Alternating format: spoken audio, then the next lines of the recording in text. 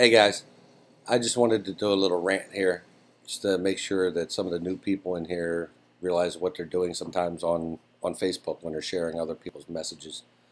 Uh, Joe O posted a made a post today where he welcomed the New York Giant to the, to the gel team, and he called out the the name of the product, Somaderm. He mentioned in it.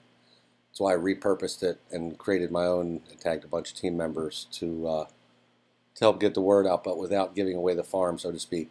It, it's very real. And let's look here 41 shares. All these people are giving away the keys to the kingdom, as they say. You don't want to do this. Especially watch for people when they share uh, things with their own, with the link that takes them away. I actually advise to not become friends with too many people involved with the company and start, you know, jumping on each other's stuff. It's too much. You want new people, fresh eyes. Peace.